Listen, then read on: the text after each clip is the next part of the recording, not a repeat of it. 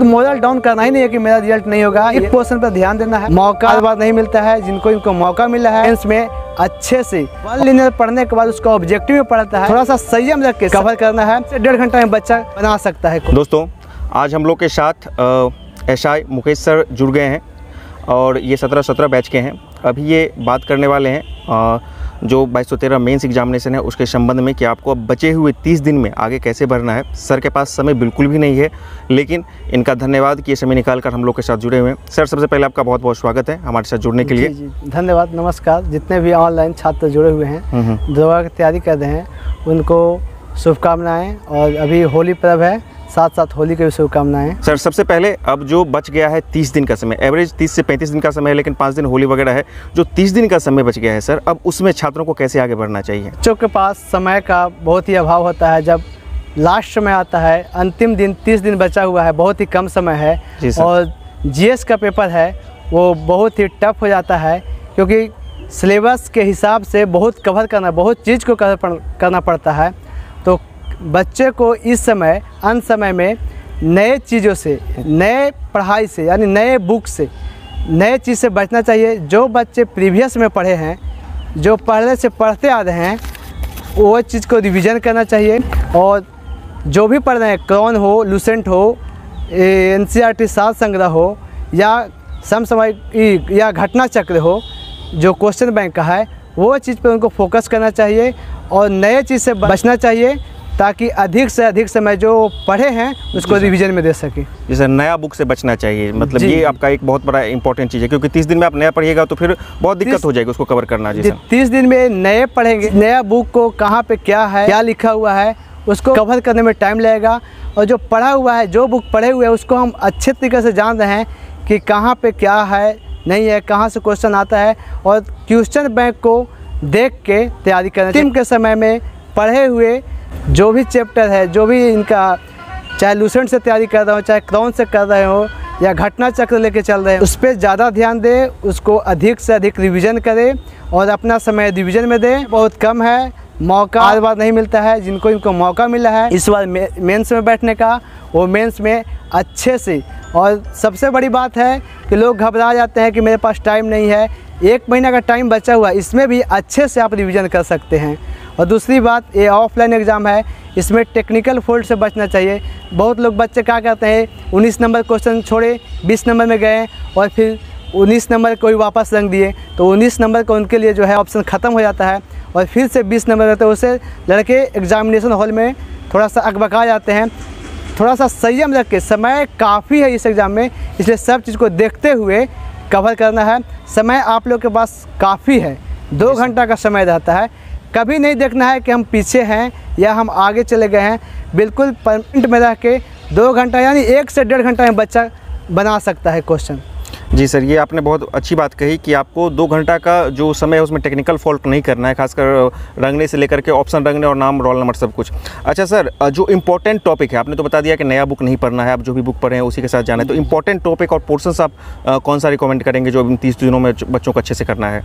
भारत का भूगोल जी सर। उसको लड़कन कवर कर ले। जी सर। विश्व का भूगोल भी एक नज़र देखना पड़ेगा कि जीएस का पेपर कहीं से क्वेश्चन आ सकता है। जी सर। ज्योग्राफी का भारत का भूगोल लगभग लगभग लड़कों को याद करना चाहिए। हिस्ट्री में आइए तो हिस्ट्री का तीनों पार्ट याद करना चाहिए। विश्व इतिहास से थोड़ा थोड़ा कवर करते ही बच्चे हैं, लेकिन उस पर उतना नहीं, भारत का इतिहास जो है, आधुनिक भारत का इतिहास उस पर और मिडिल में जो है, प्रशासनिक व्यवस्था है, सब साम्राज्य का, उसको उन लोग को पढ़ना चाहिए।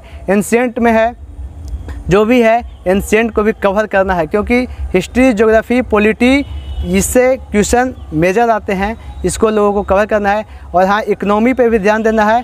बच्चे के साइंस पोर्शन है उसमें बायोलॉजी का क्वेश्चन थोड़ा अधिक मात्रा में आता है। बायोलॉजी को जैव विविधता ये सब जो जो भी टॉपिक है बायोलॉजी को कवर करना है। और हम तो बोलेंगे कि लूसेंट से लड़कन पढ़ ले बायोलॉजी हम्म। तो बेहतर रहेगा। लूसेंट में काफ़ी कुछ चीज़ें हैं और लूसेंट के बाद हो गया जो जो क्राउन पढ़ते हैं क्राउन से पढ़ ले।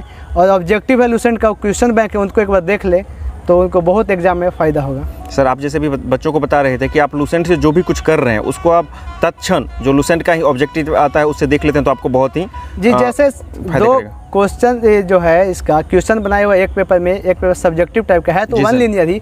वन लीनियर पढ़ने के बाद जिस विद्यार्थी को लगता है कि मेरा ये सब्जेक्ट कमज़ोर है तो वन लीनियर पढ़ने के बाद उसका ऑब्जेक्टिव में पढ़ता है तो क्वेश्चन किस तरीक़ा से पूछा जाता है उनको वे समझ में आ जाएगा और कुछ कन्फ्यूज़न दूर हो जाएगा। जी सर जी सर। इससे ये फ़ायदा होगा बच्चों को। अच्छा सर अब जो समय बच गया है उसमें वो रिविज़न को कितना इम्पोर्टेंस दें सर? देखिए रिविज़न जो चीज़ जैसे क्वेश्चन में आ रहा है आजकल दसम शास्त्र पूछ दे रहा है हम्म, तो या इकनॉमी आ जाता है तो उस सबको भी कवर करना है लेकिन जो नया है उसको बच्चों को कम से कम आठ घंटा मेहनत करना चाहिए। और एक बात बच्चों को और संदेश देते हैं जो भी लूसेंट में हाईलाइट किया हुआ है वो बहुत इम्पोर्टेंट है। उसको बच्चे रट ही जाए तो बहुत अच्छा रहेगा।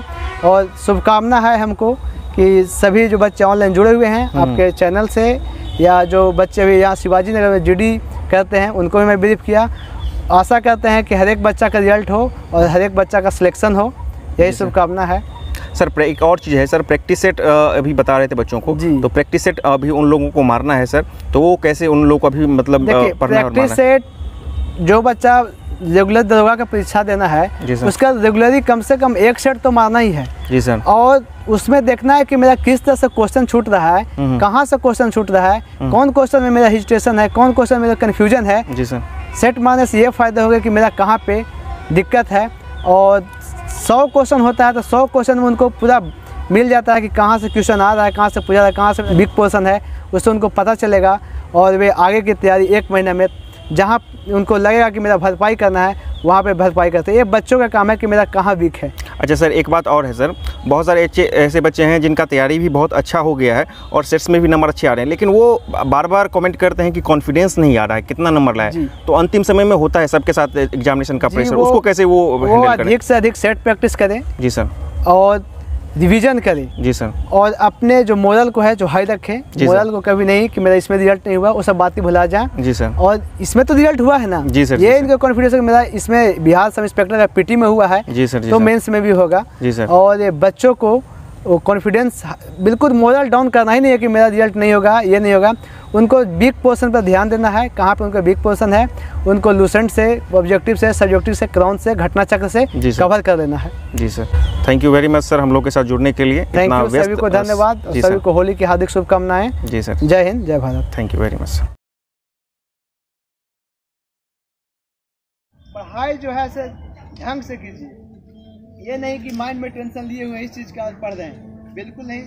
बिल्कुल समर्पित होकर पढ़ाई कीजिए। पढ़ाई के प्रति खाना है, सोना है और पढ़ना है। ठीक ना? सोने से भागना नहीं है। नहीं सोइएगा, जिसको आठ घंटा सोता है, वो पाँच घंटा सोएगा। जो पढ़ेगा ना, उसको माइंड उतना कैच पावर नहीं हो पाएगा। कि कैच नहीं कर पाएगा तो पढ़ने का कोई मायने नहीं रखता।